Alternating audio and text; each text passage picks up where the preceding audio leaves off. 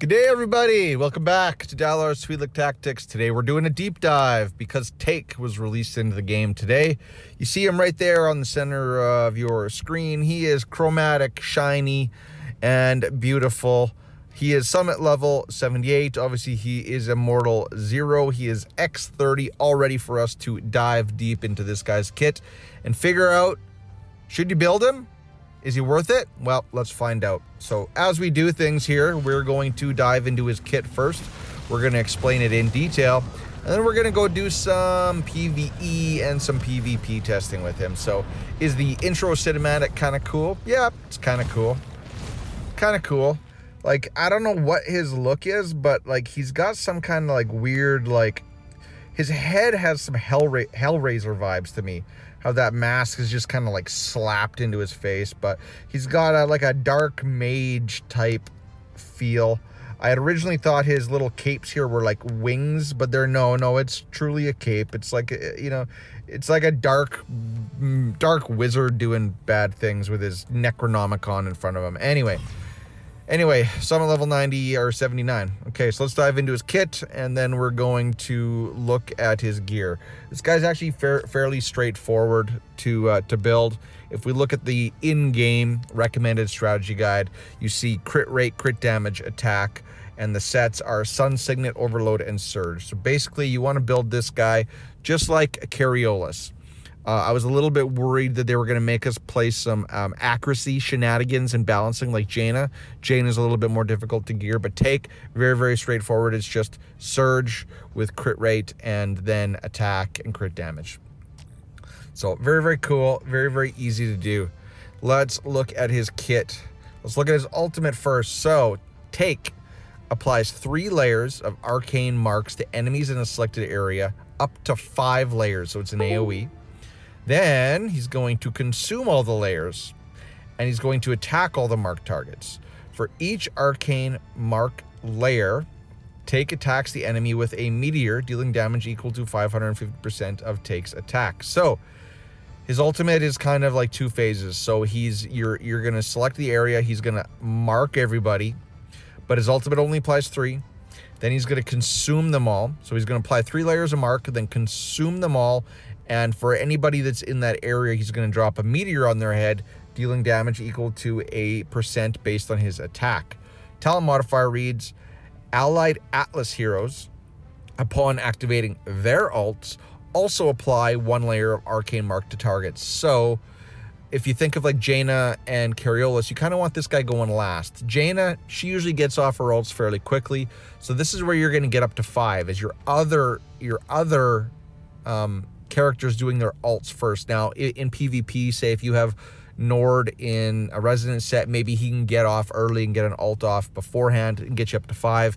Jaina, I think, is usually the one that gets off to five the quickest. So you are definitely going to get up to five so that he can do max damage. So you're you're relying on your other Atlas. So sorry, not Jaina, not Jaina. You're just relying on Nord and Shinji if you're running Shinji and then Cariolus. So Jaina cannot contribute to this guy's ultimate. Sorry about that. Exclusive effect, Arcane Meteor Enhancement.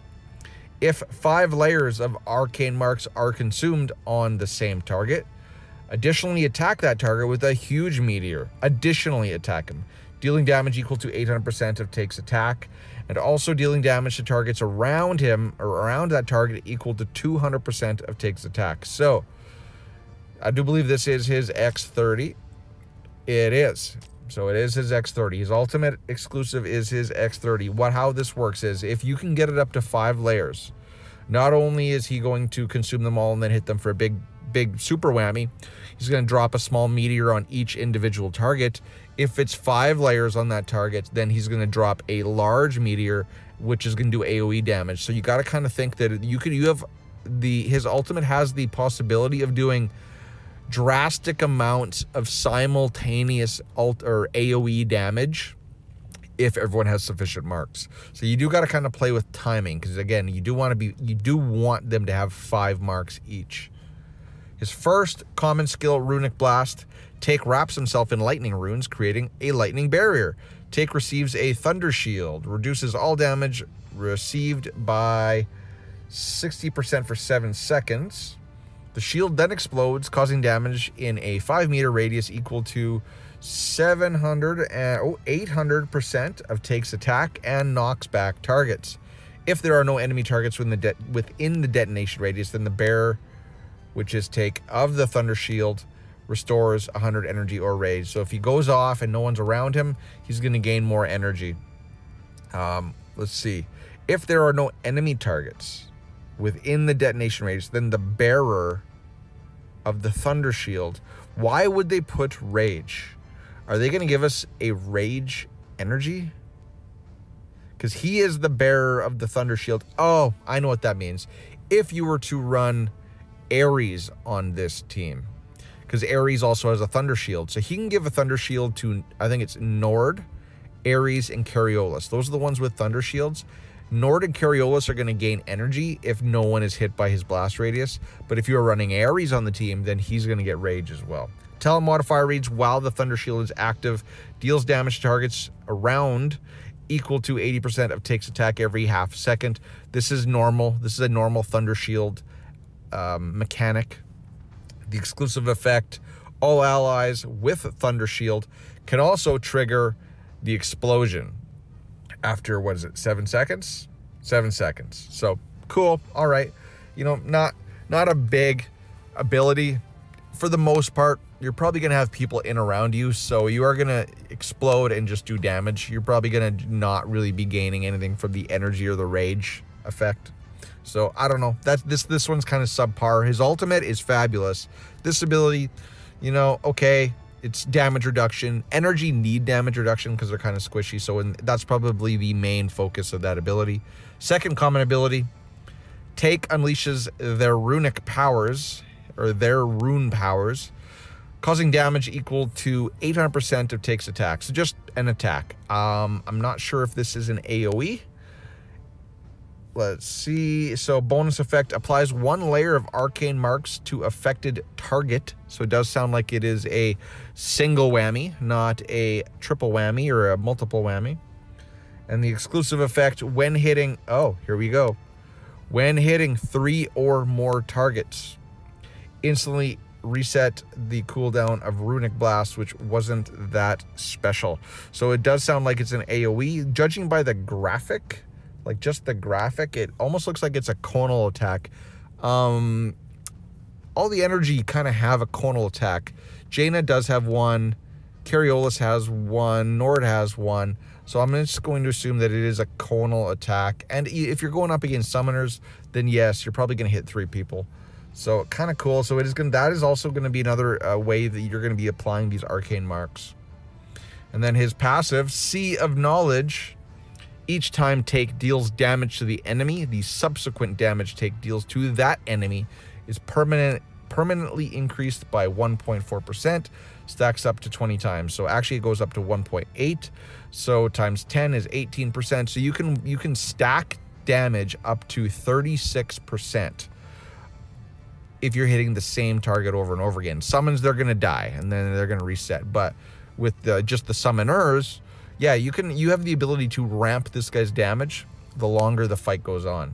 Talent modifier reads at the start of battle Taec's attack increases by 5%, up to 30% for each Atlas hero. So if you are just running him with Nord and Cariolis, he can include himself because you think it can go up to six. So they're including Masrani here too as a sixth unit. So he includes himself. So if you just have Taec, Carry, and Nord, then his damage is going to go up by 15%. If you have Shinji instead of instead of Jaina, then you're going to go up to 20%. Then, if you don't have, say, you don't want to run Miranda, you can run Purin. And if you can run Maz, then yeah, 30%. So a little bit of wiggle room on team comps. Exclusive effect, Sea of Knowledge Enhancement, yep. Wild Taec is on the battlefield. The damage received by all allied Atlas heroes in a single attack can't be more than 15% of their max HP.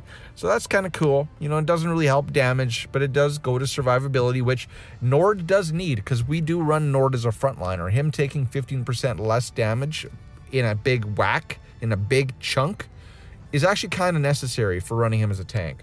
So what does this guy do? He kind of has inbuilt survivability mechanics in his kit. But if you look at his ultimate, he's got the the ability to nuke really hard, and he's scaling attack a lot like Anpu. Anpu also had a scaling attack attack mechanism. So did Ravenna. Not a lot of people have that where they can slowly ramp up through the fight to a, a high ceiling of attack value, but this guy does. So as I said, gearing is going to be fairly easy on this dude. You're going to run Surge and Sun Signet. What do you want to go for? Well, you want to get your crit rate as high as possible. So I'm going to say 80 to 100. You want 80 to 100 crit rate, and then you want to load up on this guy's crit damage and attack. Uh, that's And that's it. Surge, Sun Signet. Really, no other way. If you can get really fabulous substats, or a crit rate substats on your surge, then yes, you can run either a hero or a uh, overload set uh, instead of Signet, but the vast, vast, vast majority of you are probably going to run Signet and Overload. Now, you see, let's just look at mine. So crit rate hands is what you want. With, uh, you see, I got attack plus one and some crit damage. And that's what you want. You want crit rate, crit damage, and attack substats. Attack helm, I got attack and crit damage plus one. You want attack boots, I got some crit rate and crit damage plus one. And then, like I said, up on the top, it's just attack crit, or crit rate first, and then crit damage and attack uh, as your substats. You see, I got crit rate plus one, crit damage plus one, crit rate plus one, crit damage plus two, crit rate plus two, attack plus one, which gives me my Taec, and that's how I built him. I, I had to steal a lot of uh, Shinji pieces to make this guy's kit tick. So that, ladies and gentlemen, is the deep dive into his kit. That is how you gear him. Let's go play around out in the world. So, let's do story first. So, let's pull up some energy units and see how they do. Okay, so uh, keep in mind uh, my Care, I do believe, is Immortal 3 with fully tempered gear. My Jaina is Immortal 5 with fully tempered gear. Also keep in mind, though, you can get away with not running Jaina and running someone like Shinji. But Jaina, if you got her built up fairly substantially, we'll just watch the damage meters and let's see how they do. All right. So I, am not to win this. This is uh, this is where I'm stuck and I don't really care. So Nord's going off. He didn't die. Taec. He's still alive. But he's dead. Let's let's actually try that again. Let's let's let's kind of like let's put him back here. Let's leave our Atlas more more uh which what's the word protected and see how that does. So you see Jaina, she's going to get her ult off first, but that does not help Taec and and everyone's dead. We actually did better the first time. So boom, you see he's, he's decent damage. He's you know he was keeping up with Cariolis, but kind of hard to see how well he's doing in when you're just dying that quickly. So let's try other things. Um, I can't show you this because my team's dead. Um, I was doing recording earlier, but my recording corrupted. It's a bad day for corrupted recordings, but this is where you're going to want to use him. This is the primary place where he's going to be beneficial to you because he is a expedition elite hero, which you see in the bottom left-hand corner of your screen. This is the ideal place you want to run that team.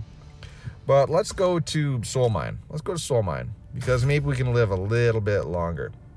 So let's pull up energy. Let's make sure we got the right prototype in there. And then let's, let's again, let's pop, uh, let's pop Jaina into the middle. Okay, and let's go. So here you go, Nord's doing an ult. So that will apply layers of Arcane Mark. But let's see, I want to see who goes first, carry or Taec. It looks like carry is going first. That is ideal. You want your Atlas doing their ults first. But now let's look. See, he's not doing a whole lot of damage. Also keep in mind the disparity, disparity, disparity in gear and in uh, evolution levels. So not really showing off what he can do. And you know what? We're still probably going to lose this. And he's dead. Okay. So this was not a good showing. Um, definitely Cariolis and Jaina were better, but keep in mind again, Cariolis and Jaina, uh, at least in my roster, have better gear. So PVE, you know, that it is what it is, kind of. I cannot, unfortunately, show you guys Crimson Rot because it doesn't open till tomorrow. But he would be ideal in Crimson Rot as well. But does he replace Jane on the team? I don't think so. Uh, where else can we show you guys what's going on? Let's go up. Let's do Sincero Marsh.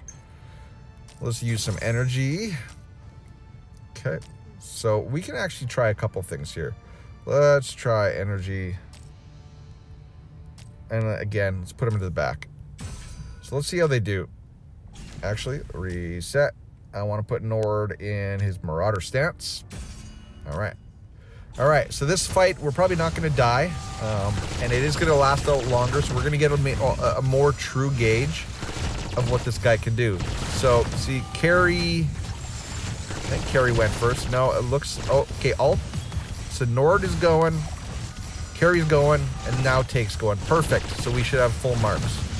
Uh, Carriolis is obviously leading the pack, because remember that Sincero Marsh also uh, will benefit from true damage, so people that can't do true damage in their kits uh, naturally are going to suffer. So that's why Carry's doing so well. Carry and Nord both do true damage. But let's do it. Look at the comparison between Jaina, Jaina and Taec. Because Jaina is only going to benefit from the true damage under Miranda's bubble. Taec is only going to benefit from the true damage while under the Miranda's bubble. So we can kind of compare the two. And you can see my maxed out Jaina did 11.3 million damage but my Immortal Zero Hyper Evolved 79 Taec did 11.3 million damage. So, is this a definitive uh, example of him being better than Jaina? Well, you know what? Maybe. I don't know. But maybe. Maybe. Pardon that little sound. Let's try it again. But this time, I want to remove Jaina. And I want to bring in Shinji. Let's see what that does. Okay. So we'll see how Shinji, uh, if he can, if, if he is better than Taec. Because right now it appears he is, but again, Shinji also does true damage. So my Shinji is much a better equivalent to Taec because he doesn't have Hyper Evolved, or he doesn't have Tempered Gear, and he is not highly evolved. Uh, and yeah, Shinji did really well, but I do recall that Shinji also does true damage in his kit. Uh, and you see, it was all the Carriola show, and then Shinji, and then where's Nord? Nord, then Shinji, then Taec. So, you know, is he decent? Uh, oh, he's okay. He's all right, but he's not blowing the lights out in PVE. He just isn't he he um, he isn't. so I don't know what I don't want to write him off, but he's just kind of for PVE specifically, kind of mediocre. Kind of mediocre, but again, keep in mind the disparities between him and my other energy heroes. So now let's go. Where else? Where else? Where else? Um, that's really it. Um, so yeah, he is gonna shine in here because he he is gaining so much bonuses in here. So this is the one place where he is gonna shine. Exotic Expedition, which I can't show you because I am done for the offensive phase. So now let's go look at some PvP. Uh, go to the friends list. Now, where is he? So let's try. What? Who was I going against? Grimlock. All right, Grimlock. So Grimlock has your typical summoner team, right? This is the vast majority of you are going to see this team when you're fighting a summoner team. So we're going to put him, where's, look, he's got his Anpu in the back. So we're going to slide him kitty corner to Anpu. Uh, but I do believe I'm going to put him in the back just to try to keep him from being stunned because I want to get a good sense of what he can do. Um, yep, yep. I got my Nord in Resonant. Everybody else is good. Let's go. Uh, if you were, if you did not have book, I would say run uh, Jaina in Resonant as well. I do have a Resonant kit or uh, set for her. So let's see how we do. So Jaina, Jaina's popping off. You know, obviously she's going to be, she's still the queen of damage in this team. And you see that Taec is going before Cariolis. So that happened so fast, as it should, because it's energy. I want to see how we did. So Jaina did 39.8. Cariolis did 32.6 and Taec did 32.1. So respectable. Very, very, very respectable. Also keep in mind I like run I you're gonna want to run Taec in PvP because he's giving your Atlas heroes, specifically Nord and Cariolis, more a lot more survivability, and they need that in PvP. So let's do that again. Let's fight Grimlock again. Uh, let's let's move let's let's move Jaina to the back.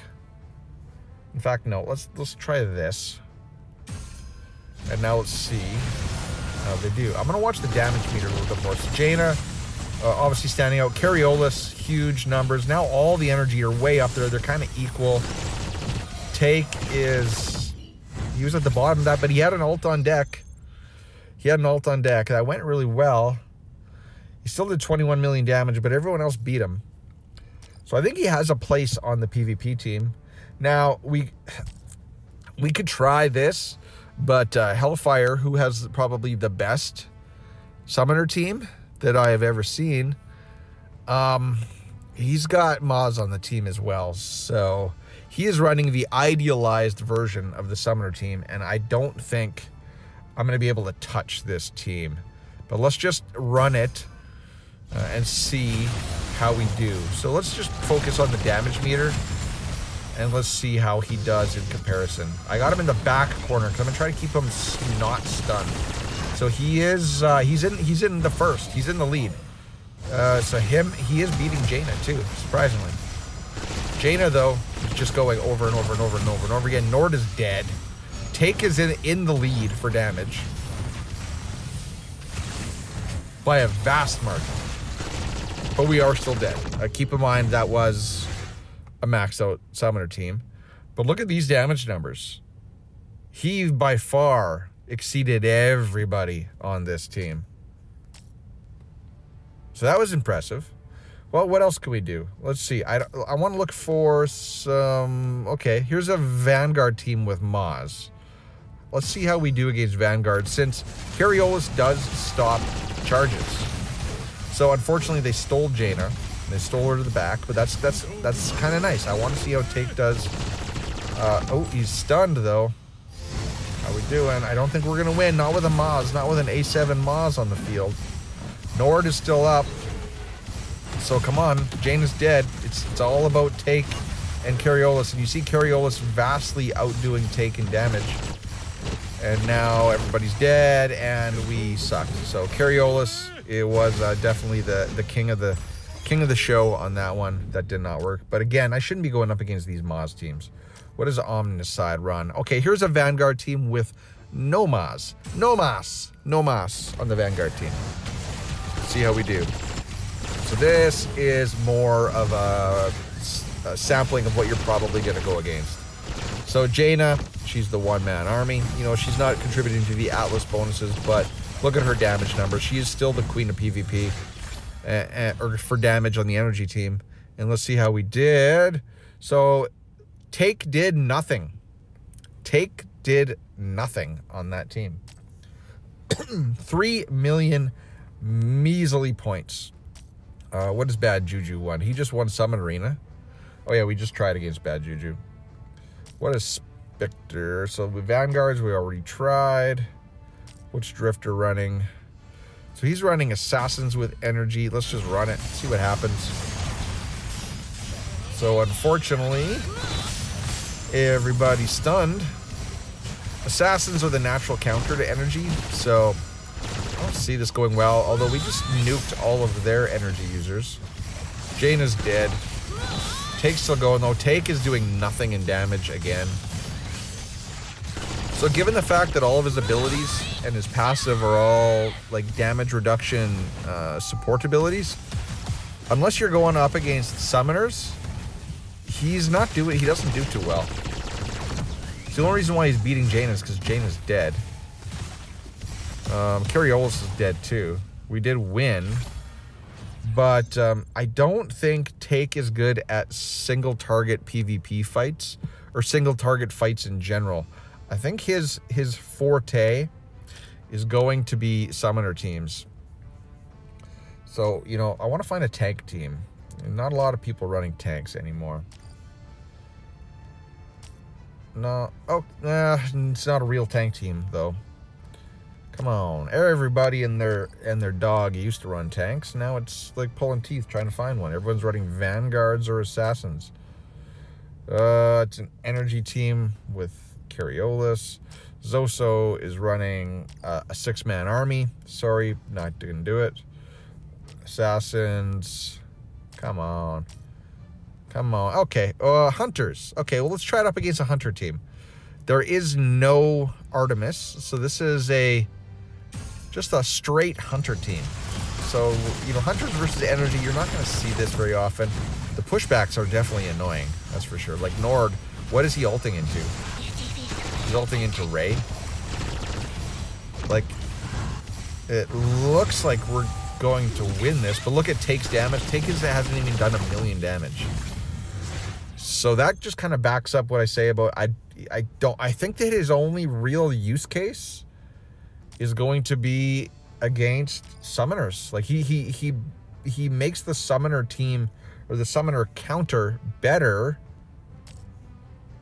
Okay, here's tanks. Let's try tanks with Purin. Let's see, because tanks, uh, energy is also a natural counter to tanks. So here comes the Taresh throw. It is stopped. But Taec, I don't don't think is going to add uh, almost nothing to the tank counter. Yeah, you see, look at his damage. It is again. It is. Uh, is he going to crack a million? Uh, yeah, he'll probably just crack a million. But his damage is not doing well compared to everyone else. So I think we learned a couple things with PvP. Taec is not good on the energy counter against tanks. Um, I think that while yes, he is giving some survivability, I think you might benefit more with like Purin on the team uh, instead of Taec against tanks, but you definitely do want him on the team against summoners. Again, this is tanks. Let's try it again, again because uh, energy is the natural counter to tanks. But I, I just don't think his damage is. Ooh, we are we are completely nuking this now. Yep, that uh, that went poorly for them. I don't think Taec even got an ultimate off. Let's see. Uh, 1.5 million damage. Yeah, really did good there, bud. Really did good there, bud. So let's go back up. We're gonna end this off with another uh, Grimlock fight. Um, let's let's take Jaina out. Let's put Purin in because Purin's also going to count as an Atlas. So now we're not only we are also activating the four four out of five bonus for Atlas. But uh, Jane, uh, he's also going to get a five percent increase in damage as well. Let's let's. This might be the play because this is what you're probably going to want to run for tanks anyway. I'm just I really hate leaving Jaina off this team. And also keep in mind that Purin's ult that she just did counts, but it's not going to apply any marks. So, what was the speed on that? How fast did that go? That was I can't tell. But he didn't do a whole lot of damage on that. It was all Cariolis. Let's let's see who's faster. Let's see if I can. Let's watch the clock here now. So uh, we got T minus. I'm gonna say 12 seconds. So Carry did an alt. So now when Taec does his alt, he's gonna be consuming five stacks. That was 11 seconds. That was an 11 second fight. So now let's pop Jaina back in there and see if it is faster.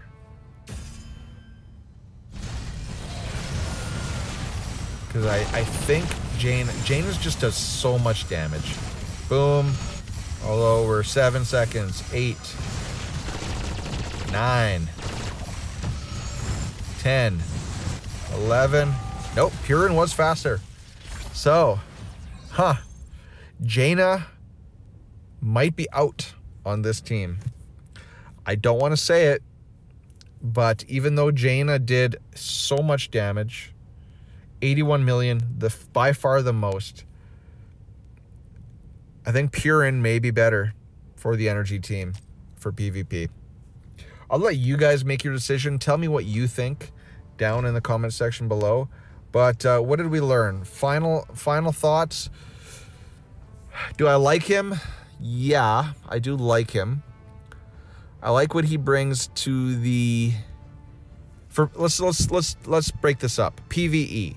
Okay, he's going to be good on the PV or the energy team in Twilight. He's probably going to be required on the next endless battle for energy. He's probably going to be required on the Twilight 16 boss somewhere. He is required in the exotic expedition, and he's probably going to be required or a boosted hero in the guild expedition. So where for PvE, I, I think he is only good because the game is making us use him. But um, so after all of those bonuses fall off, his his usefulness for PvE is probably going to go down. But for PvP, I do think he has a place on the team because he gives survivability to the other Atlas heroes. Does he nudge Jaina off the team? I don't know. Maybe. Maybe. He might. He might. So for PvE, I think is going to be where his home is going to be after all, you know, in three months after all of his buffs have expired for PvE game modes. Uh, so he's not bad. I'm gonna I'm kind of gonna rank him the same as I did Amat. I'm gonna give him like a B plus, an A or a B plus, or no A negative B plus. Sorry, yeah, A negative B plus. He's not overpowered at all. Uh, he's not really blowing the lights out in any piece of game mode, in any piece of game content. He's just he's just a unit that we can use, but you don't have to chase him unless you want those buffs in the PvE uh, places where he has to be used. So, ladies and gentlemen, tell me your rating of Taec in the comment section below. The word of the day is going to be Dark Magician because that's kind of what he looks like and what the vibe he pulls off. So, tell me your rating on the hero. I'm giving him B plus A minus. And then Dark Magician, put that down in the comment section below. I will know you made it to the end of this video, and I will thank you profusely. Till next time, ladies and gentlemen, cheers, peace, bye-bye.